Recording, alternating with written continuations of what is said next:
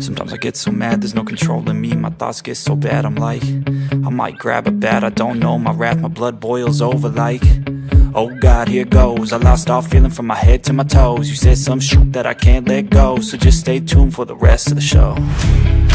So have you ever felt betrayed? Switches how you see things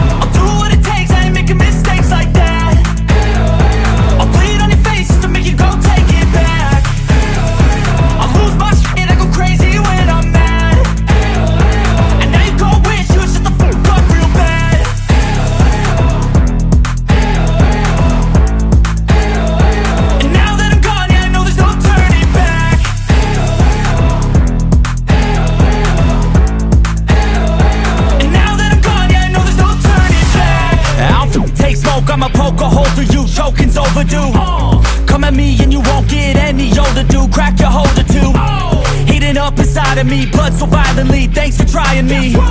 Now it's finally time to see how